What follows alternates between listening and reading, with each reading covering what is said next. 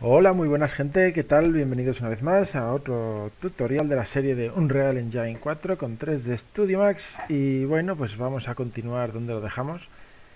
Vamos a continuar con eh, materiales, ¿ok? Habíamos creado un par de materiales sencillos, simplemente uno blanco y unos cristales y ahora vamos a, vamos a empezar a hacer ya materiales al estilo de los que estamos viendo en la imagen, ¿vale? Vamos, a la hora de texturizar, pues siempre hay que ver, tener un poco claro qué queremos hacer. Así que vamos a ver la, imagen y vemos así por encima, pues qué materiales necesitaríamos. Pues este de aquí, por ejemplo, que yo mm, una especie de hormigón blanco, ¿vale? Este de aquí que serían unos ladrillos. Aquí el canto del suelo, un metal oxidado, así viejo. Luego en el interior unas paredes blancas. El suelo de la casa, que no lo estamos viendo, lo podemos hacer de madera, haremos una prueba. Y a lo mejor la cubierta, este tiene un reborde metálico, algo así, y las carpinterías, que las vemos que son como de metal negro, así oscurito, y bueno, luego habría que hacer puertas interiores, maderas, muebles, pero bueno, de momento, como vamos así a comprender un poco mejor los materiales, vamos a empezar con este hormigón, este ladrillo y la carpintería y los cristales para empezar, ¿ok? Del exterior. Luego ya haremos interior, etcétera. Vale, tenemos aquí la escena como la habíamos dejado el último día. ¿Ok? Entonces hemos dicho que esto va a ser un hormigón blanco. Vale. Vamos a volver entonces aquí a nuestro a content browser, de navegador de contenido. Y en la carpetita materiales tenemos los dos que habíamos creado. Botón derecho material. Y lo vamos a llamar hormigón blanco. No se pueden poner espacios, ¿veis? Si dais un espacio aparece mensaje. Así que usamos subrayados. Hormigón blanco. Hacemos doble clic y vamos al editor. Vale, perfecto. Aquí es donde vamos a, a trabajar con los materiales. Ya habíamos visto un poquito cuando hicimos el material base, pero ahora vamos a, explicar un poquito más. Bien, esto es, digamos, el material en sí con sus partes. Ahora mismo, por defecto, aplica unas, propiedades generales. Está, pues digamos que oscuro, ¿veis? Con un pequeño brillo. Pero esto lo vamos a modificar. ¿Qué necesitamos? Pues necesitamos, a ver si lo tengo aquí. Esto cerramos. Aquí lo tengo. He creado esta pequeña carpeta. Ok, un segundito. Sí. He creado esta pequeña carpeta esto en la descripción del vídeo encontraréis un link para descargaros estos mapas que son los que he seleccionado un poco para usar en este ejercicio. ¿Vale? Eh, pues como veis aquí tenemos un hormigón con una división. No lo he probado con su bump y su normal, ¿ok? Para usar como textura de la pared. Vamos a ver qué tal queda. No lo he usado, no he probado con él. Vamos a ver si nos convence, ¿ok? Vale. Lo primero, vamos a tener que cargar una textura. ¿Cómo cargábamos una textura? Aquí escribimos texture sample. Este de aquí. Y lo traemos. ¿Vale? Y esto se lo conectamos arrastrando con el botón izquierdo a color base. Nos dará un error porque no tiene textura cargada. ¿Cómo cargamos una textura? Tenemos que importarla al navegador de contenido. Aquí si intentamos salvar nos dice que tiene un error, que si queremos continuar, sí, ahora lo arreglamos ese error. Cerramos un momento el editor de materiales. Y, y tenemos que crear una carpeta nueva, porque una cosa son los materiales y otra cosa son las texturas. Entonces yo suelo crearme, aparte de materiales, me creo otra carpeta, ahí no, aquí, botón derecho, New Folder, y le llamamos textura vamos a hablar en castellano. Ya no sé. Textura, venga, lo dejamos todo en inglés. Podemos meterla dentro de materiales o afuera. Bueno, vamos a dejar dentro para tener todo el tema de materiales juntos. ¿Ok? Y aquí tenemos textura. Aquí vamos a, a importar una imagen. ¿Cuál? Le damos y en imágenes tenemos que irnos a las texturas. Un segundo, perdón. Ya tengo aquí la carpeta. Esta es nuestra carpeta de texturas y dentro de texturas podemos arrastrar A ver, ¿por qué no lo hace? Vale, hay que dejarle... Arrastramos y cuando desaparece el icono de prohibido, ¿veis? Ahí soltamos y nos carga hormigón. Y vamos a cargar también... Bueno, de hecho, vamos a cargar todas. Así ya las tenemos, ¿ok? Seleccionamos, arrastramos, esperamos un momentito hasta que desaparezca el icono este de prohibido y ahora soltamos. Si lo hacemos muy rápido, pues no lo coge. A ver, lo está cargando. Sí, tarda un poquito porque, bueno, algunas son no es que sean muy grandes, pero bueno. Ahí tenemos todas, ¿vale? Estas son las texturas del ejercicio. Una vez ya metidas aquí, ya podemos usarlas en los materiales. Volvemos al hormigón blanco. Doble clic. Y ahora aquí, si pinchamos, nos aparece aquí las propiedades de la textura. Aquí, en este desplegable, ¿veis? Nos carga las texturas que hemos cargado, más las que ya venían cargadas por el propio el archivo base que estamos usando del editor, ¿ok? Que bueno, la, la cruceta aquí de puntería y todas esas cosas. Tampoco que se vengan muchas, alguna chorradita. Vamos a buscar el hormigón blanco. Hormigón pared. Ahí lo tenemos, ¿veis? Ya nos ha cargado. Y si ahora aplicamos y salvamos, vamos a echarle un ojo, tenemos que aplicarlo a este objeto. ¿Cómo lo hacemos? con el objeto seleccionado, podemos arrastrar y soltar en el objeto. Pero la forma, digamos, más correcta es con el objeto seleccionado, cubierta principal, aquí materiales, en pestaña detalles, en vez de material base, desplegamos y buscamos hormigón blanco. Y ahora tarda un poquito, ¿veis? Y ahí está aplicado. ¿Qué pasa? Lo ha aplicado muy pequeño. Está puesto, pero es demasiado pequeño. ¿Cómo lo arreglamos? Volvemos al editor de materiales. Esto si tenéis dos monitores, pues esta ventana la podríais tener en el monitor de al lado y es bastante cómodo. Obviamente para el tutorial pues lo uso todo aquí. Vale, ¿cómo eh, reduzco el tamaño de la textura? ¿Veis? aquí sale muy grande, pero luego en el... Entonces tengo que ampliarlo. Vale, pues puedo usar el parámetro text. A ver si me acuerdo cómo se llamaba. Text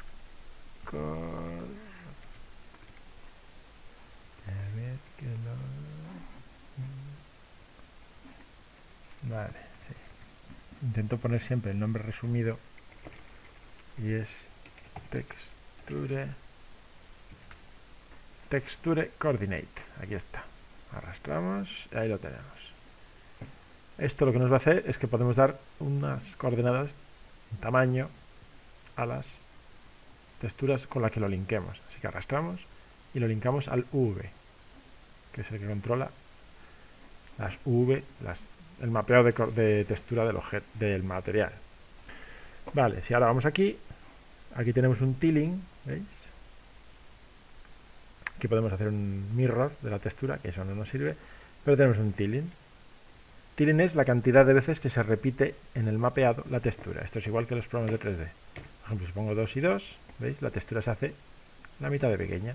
En nuestro caso la queremos más grande. Vamos a hacer la prueba con 0,2. Punto 2, tiene que ser con puntos, que esto es inglés, americano. No comas. Vamos a probar. Al final aquí hay mucha prueba-error. Bueno, ¿veis? Ahora ya es más grande. Ya queda algo mejor. Nos puede valer quizás. O igual un poco más grande.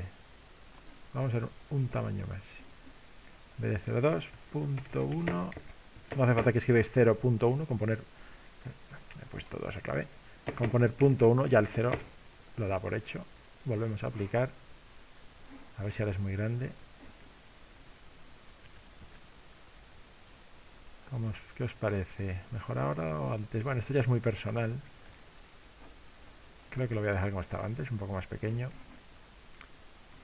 Lo importante es eso, que sepáis que con añadiendo un text cord al sample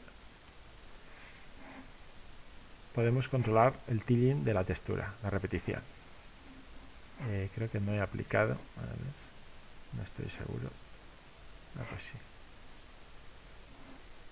Bueno, de momento lo vamos a dejar así. ¿Vale? Bien. Eh, vale, ¿qué más le podemos aplicar? Aplicar el mapa de normales para que tenga un poquito de relieve. Vamos a probarlo, ¿vale?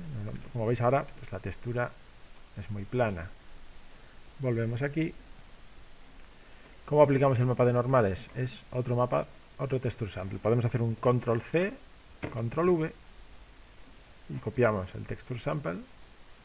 También creo, ¿veis? Aquí también podemos duplicar y nos aparece otro.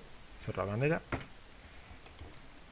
no sé si arrastrando no se duplica, vale. Y aquí, en vez del hormigón de pared, cargamos el hormigón de pared normal. Vais a ver la diferencia, bueno, aquí la bola no se verá. Y esto lo conectamos con el mapa de normales, ¿veis? ¿Lo veis en la esfera como ahora tiene rugosidad? Si lo aplicamos y nos vamos aquí, la está aplicando, se ve muy poco porque esto le tiene que dar más la luz para que se note más. Y también estamos teniendo no se nota pero esto está teniendo un problema. La pena que no se vea con, con la luz. A ver, voy a probar un segundito. Bueno, eh, yo creo que con el mapa este, este mapa de normal es un poquito leve y no se nota mucho pero bueno, vamos a Vamos a seguir el material y ahora, ahora os explico una manera de acentuar más el mapa de normales. ¿Vale? Eh, vamos a ver, si no... Vamos a añadir, vamos a añadir más cositas al mapa para que vayáis viendo más cosas, que será más útil. Porque yo creo que esta textura de normales no es muy buena y bueno, no se puede hacer mucho con ella. De momento quedaros en cómo se aplica y ya buscaré una un poquito mejor. Pero de momento nos sirve para dar ese toque, como veis rugoso en el brillito y nos va a funcionar. De todas el hormigón tampoco tiene por qué tener demasiado relieve, así que así nos vale. Vamos a añadirle un poquito de, vamos a hacer un ambient occlusion, vais a ver para las llagas, volvemos a hacer control C, control V, y aquí cargamos el, este, hormigón pared bump. Y esto lo aplicamos a ambient occlusion, vais a ver la diferencia. Ya lo voy a aplicar, me voy aquí y mirad. ¿Veis? Ahora las llagas del hormigón nos han quedado súper marcadas. Mucho, mucho más. Pero esto es mucho, es muy exagerado, ¿no? no tampoco lo queremos tanto. Vamos a ver cómo podemos suavizar esa, esas llagas. Lo primero, igual que he hecho aquí, el misma textura de coordenada para las tres, para que vais a ver cómo ahora las llagas se hacen exactamente del mismo tamaño ¿veis? que la textura de debajo, o sea que la textura de, hormigón blanco que habíamos puesto. Si no, si no aplicamos el mismo V a todo, cada textura va a estar colocada en un sitio. Esta es una buena manera de tenerlo colocado. ¿Ok? Vale, ¿cómo suavizamos esto? Pues esto funciona un poco como en Photoshop, ¿vale? Tenemos un comando, lo tengo aquí ya escrito, que es ADD, si yo lo traigo, y ahora esto me lo, conecto aquí. ¿Veis? Ahora está conectado dos veces, esa no nos vale, así, si pulsamos ALT y sobre la línea desconectamos. ¿Vale?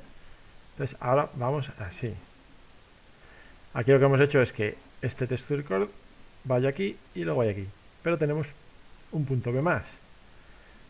¿Qué vamos a meter en el punto B? Pues vamos a meter, como os dije, dando al 3 y pinchando, nos aparece esta cajita de RGB de tres colores y vamos a añadir esta caja negra en el B. ADD lo que nos hace es como en Photoshop, nos suma esta textura más la caja negra y lo envía al ambiente occlusion. Si queremos ver aquí podemos pinchar y dar Start Preview. Esto, ¿veis? Esto es lo que está ahora mismo ejecutándose aquí. Esto es lo que se va a enchufar en el ambiente occlusion. Si yo aquí bajo a blanco, ¿veis? Prácticamente las llagas desaparecen. Así que con esto yo puedo jugar para la intensidad de las llagas. Vamos a verlo. Con todo a negro vais a ver que tendremos un material prácticamente igual que el que teníamos antes. Demasiado marcado. Pues, y si ahora lo pongo, por ejemplo, a la mitad, un poco menos, por aquí, y aplicamos, vais a ver la diferencia, marcamos la llaga, pero el hormigón vuelve a ser más blanquito. quizás así nos guste más. De momento lo vamos a dejar así. Ya retocaremos porque esto al final es, es muy difícil que a la primera quede como nos gusta. Así que de momento, como estamos aprendiendo, nos vale. ¿Ok? Vale, vamos con la pared de ladrillos. Este muro 02 es nuestra pared de ladrillos en estas dos partes. ¿Ok? Bueno, antes de eso, esto también es de hormigón, esta pared y esta otra. Pues, como os dije, también se puede arrastrar y soltar, ¿veis? Y arrastro y suelto. Y ahí ya tenemos aplicado el hormigón a las paredes. Si os fijáis, pues aquí las uniones pues no son las mejores. Aquí se nota mucho que está todo conectado mal. ¿Cómo podemos solucionar esto? Pues con mapeados. Podemos cambiar el mapeado para que coincidan. Incluso hacerlas... Al final hay que tocar los mapeados. Pero lo mismo. De momento lo vamos a dejar así. Vamos a texturizar y después ya corregiremos todas esas cosas para que encajen, ¿ok? Ahora mismo no nos vamos a preocupar. Pared de ladrillos. Pues vamos a crear un material nuevo. nuevo material y vamos a llamarlo ladrillos. Y como siempre lo abrimos. A ver si se abre. Aquí está, ladrillos. Aquí tenemos pestañas que podemos ver los materiales anteriores. Podemos, por ejemplo, si yo quiero usar otro texture sample y no me acuerdo cómo se llamaba, control C aquí, me voy aquí, control V y ya lo tengo. Y aquí, pues en vez de hormigón pared, me voy a ladrillo. Color base, ¿eh? ya tenemos ahí nuestro ladrillo. Y vamos a hacer como hicimos antes. Darle un normal. Vais a ver. Copiamos. Y aquí cogemos ladrillo normal. Y lo aplicamos a normal. Aquí en los ladrillos veis se nota más la diferencia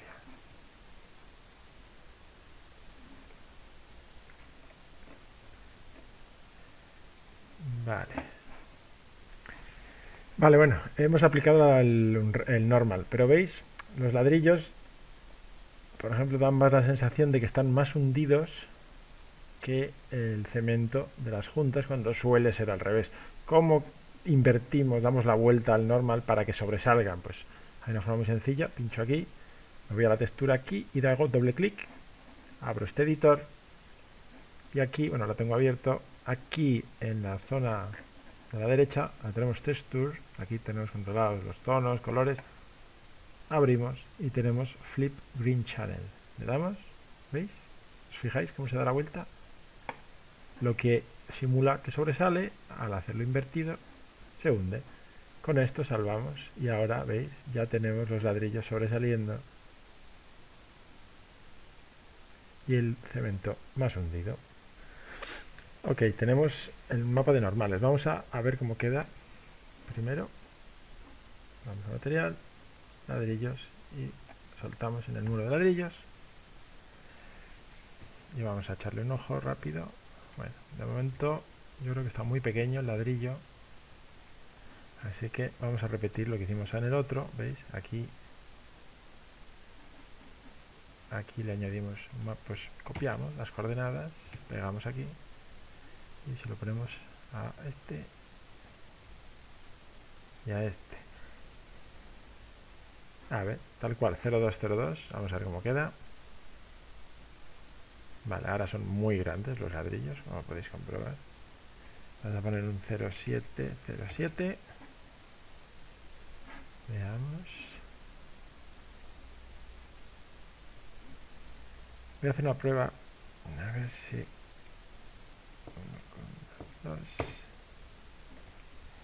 siempre pongo como si son puntos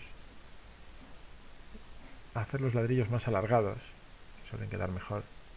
¿Veis? Ahora son un poquito más alargados. Un poquito pequeños me siguen pareciendo. Vamos a ver 0.61.1. Al final, pues hay que ir pillándole el,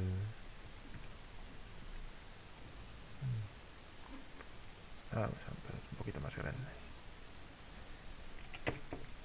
4, 1. Vamos a ver. A ver si encontramos.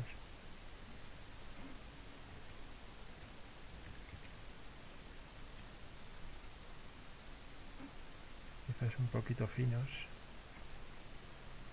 Punto 8. Ahí estoy jugando, pues eso, altura anchura todo el rato. Bueno, vamos a dejarlos así, que yo creo que más o menos nos pueden valer. ¿Ok? Vale. Ok, ahora vamos a, a ver cómo podemos, por ejemplo, ahora mismo hemos visto cómo dar la vuelta a la textura aquí con el Flip Green Channel, pero cómo podemos darle más intensidad al normal. Es decir, que, que el ladrillo sobresalga más, forzar el normal. Pues mirad, esto es, se hace de la siguiente manera. Creamos con el 3 apretado, clic, un, un box de un vector 3 que se llama, ¿vale? Y añadimos un multiply. Y vamos a multiplicar, igual que hicimos, multiplicamos el mapa de normales con el negro, que hemos creado el vector 3. Igual que hicimos aquí para suavizar el... Desaparecer. Para suavizar el ambient occlusion, pues aquí vamos a hacer lo mismo. ¿Ok? Si multiplicamos el mapa de normales por negro, no es la idea. La idea va a ser multiplicarlo por, por ejemplo, punto 5, punto 5, 1. 1 es el canal de azul. Ese le dejamos, o sea, el tercer es rojo, verde, azul. Las normales se basan en azules. Así que el azul no lo tocamos. Y jugamos con estos otros dos valores para que el tono sea más o menos fuerte. Vais a ver, a ver si aquí se aprecia, que cuanto más cercano a cero sean estos dos valores, ¿veis? El normal desaparece. Si damos 1, crece más. Por ejemplo, si damos 2, forzamos, ¿veis? Mucho más. No sé si se notará en la escena. Bueno, algo se nota, ¿veis? ¿Lo notáis ahí como...?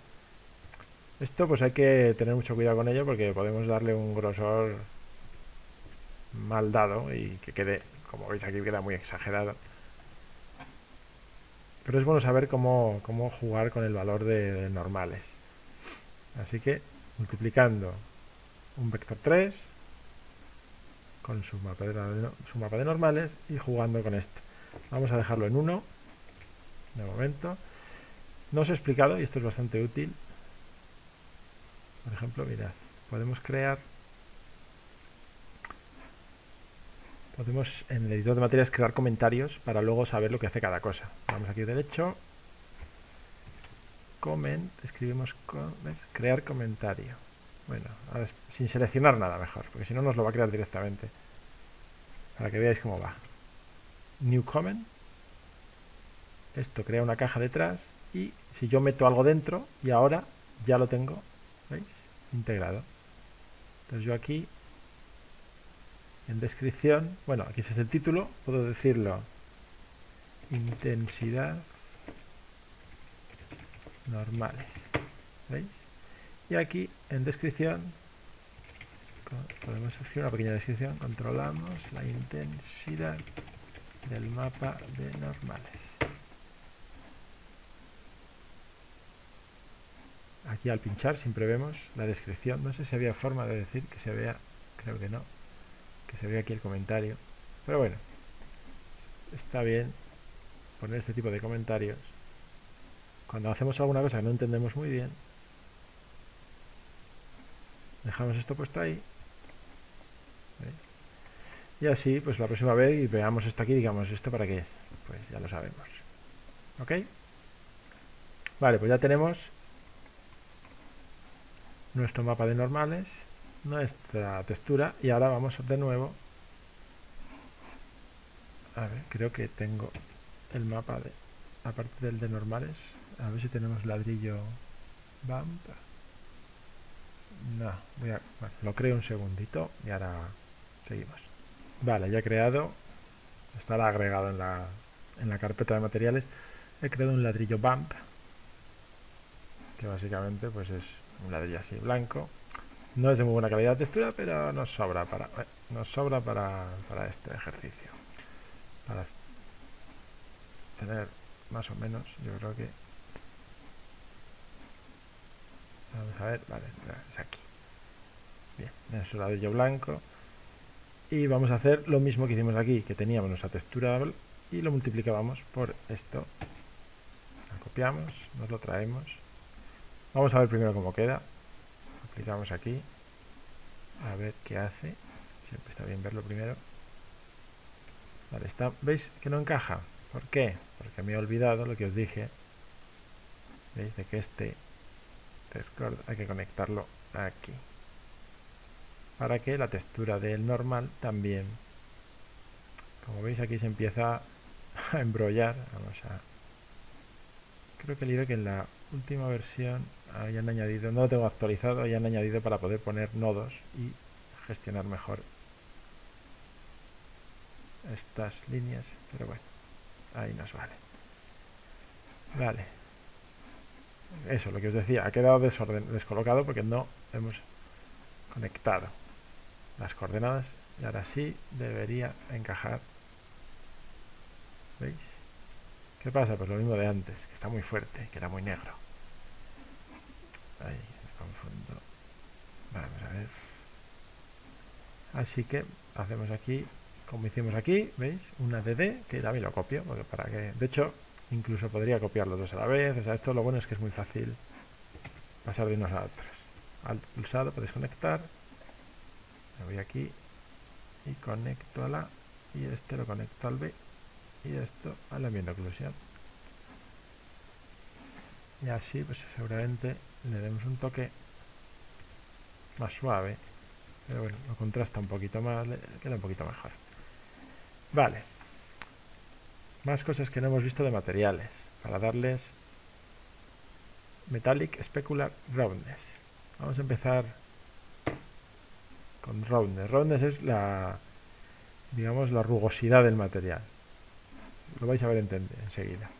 Pulsando 1 saco un valor único, una expresión constante que va de, puedo darle un valor, ¿veis? ¿Para qué lo uso? Para aplicárselo a estos parámetros. Roundness a 1 es totalmente mate, como veis. Le quitamos cualquier tipo de rugosidad a nivel de sombreado. Si lo pongo a 0, vais a ver, ¿veis?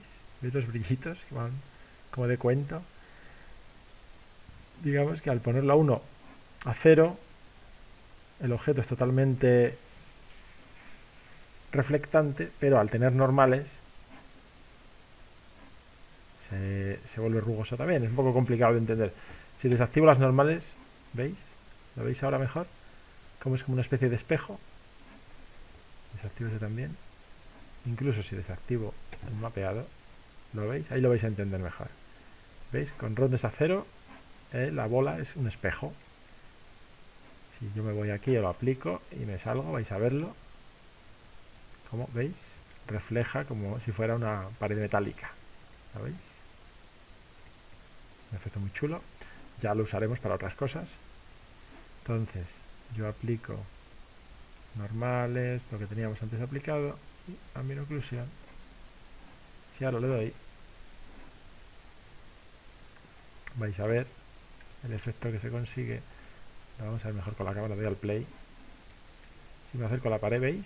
ese brillo, eso es claro, parece que la hemos forrado en plástico la pared forro escolar es que es un brillo muy exagerado. Esto pasaba mucho en los juegos de inicio de, recuerdo cuando empezó las consolas la Xbox 360, PlayStation 3 que fue digamos el inicio de este tipo de shaders en los materiales. Se usaba muchísimo, ¿veis? que era un efecto muy exagerado. Y no nos no vamos no buscamos eso. Entonces qué roundness le damos pues vamos a darle un punto 7 punto 7 para que tenga un poquito de brillo pero no mucho luego metálico pues lo mismo si yo aplico aquí lo dejo en 0 no es metálico pero si doy 1 vais a ver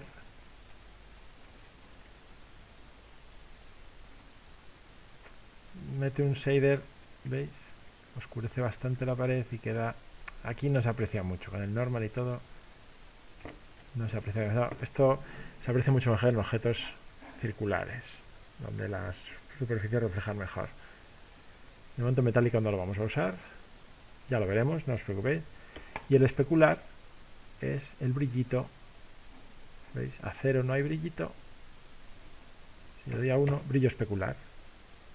Como otra vez, con el mapa de normales, se aprecia menos. Pero, a ver si logramos, ¿veis? ¿Veis ese brillo?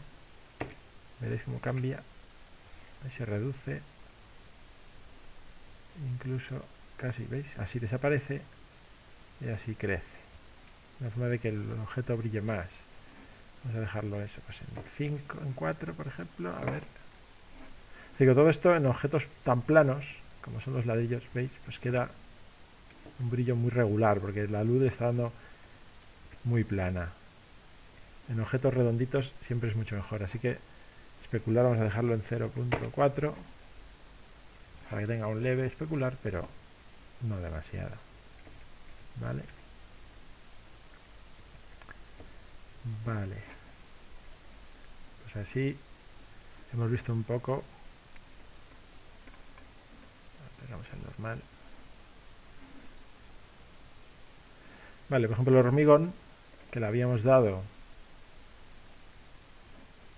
un ámbito incluso, pero no habíamos tocado las opciones ni especular, ni roundness. Por ejemplo, añado aquí un... Siempre dando al 1 pulsado, si le pongo 0 de roundness, ¿veis? Vais a ver el efecto de hormigón. Va a aparecer... A ver, a aquí al play, ¿veis? Es un hormigón que, si os fijáis, refleja un poquito. Parece como que estuviera un poco húmedo. ¿Veis la pared? Parece hormigón húmedo. No es el efecto que buscamos aquí, pero para otros casos puede ser muy chulo. Pues lo mismo. Al hormigón le vamos a dar un poquito de roundness. Vamos a dejarlo en 0.4. Vamos a ver si nos gusta el efecto o no. Al final eso es un poco al gusto. Esto va a haber muchos parámetros que son muy como el efecto que queramos buscar. Vamos a ver, doy al play para moverme más cómodamente. Cómo queda ahora. ¿Veis? Tiene un poquito de refrillito, pero tampoco exagerado. A mí así, igual me gusta más que sin él. Es un matiz. ¿Vale?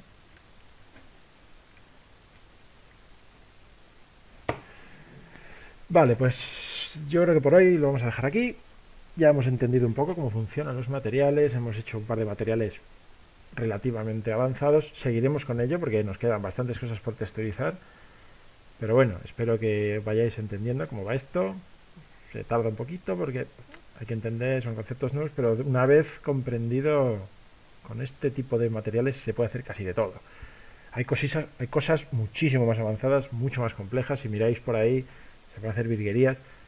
De momento no, ahora mismo no es la idea de este tutorial. No vamos a meter en materiales súper complicados porque podemos tardar un montón y no merece la pena. El ejercicio que habéis visto, que os enseñé al principio, salvo contados muebles y cositas, todo tiene materiales de este estilo, nada más. O sea, no es, yo considero que no es necesario para una visualización arquitectónica volvernos locos y hacer materiales con shaders brutales y complejidades, vamos, salvajes, porque es que ya veo que esto es un mundo. Como siempre, dudas o preguntas, o si os habéis perdido, lo que sea, en los comentarios serán bien recibidas. Yo os intentaré ayudar en lo que pueda. Y bueno, espero que os haya gustado, que estéis aprendiendo y nos vemos en el próximo vídeo.